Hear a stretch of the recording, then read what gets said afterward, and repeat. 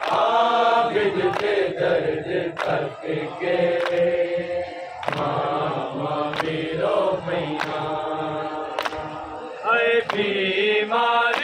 जिसी होया। बीमारी जिसी होया। पैना। आबिद के दर्द तक